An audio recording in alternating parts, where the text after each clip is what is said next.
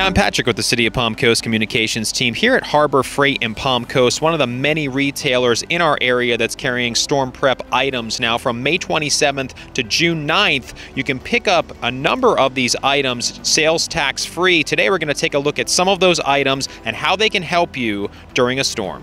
One of the main items on this sales tax holiday list are fuel generators. Now, as you may know, when storms do come, there does tend to be power outages for days, even maybe longer at a time having these fuel generators at your home will allow you to keep those essential electronics and appliances working. Another item that will come in handy for generators is having a gas tank readily available. You'll want to keep this filled with fuel in case of a power outage. Some of the other items on this sales tax holiday list do include candles and flashlights. Now you'll be able to find a variety of different flashlights and wand lights to keep your home lit in case of a power outage.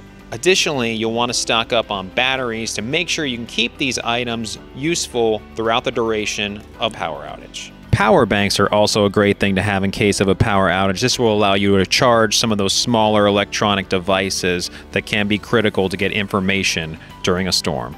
Alert devices like carbon monoxide alarms and smoke detectors are also key to have during a storm to ensure that you and your family stay safe. When it comes to storm prep, there are also a number of items on the sales tax holiday list, which include tarps and tie downs, which will allow you to keep those items that may get blown around in the wind, patio furniture, free from damage during the storm. You'll want to tie those down as they can cause damage to your home, exterior, and also damage to the items themselves. Whether you're a new Florida resident or you've weathered weathered the storm before, it's always important to stock up on key supplies you'll need for hurricane season as we do prepare for its arrival on June 1st. Also, be sure to take advantage of this sales tax holiday by visiting any local retailer here in the state of Florida through June 9th.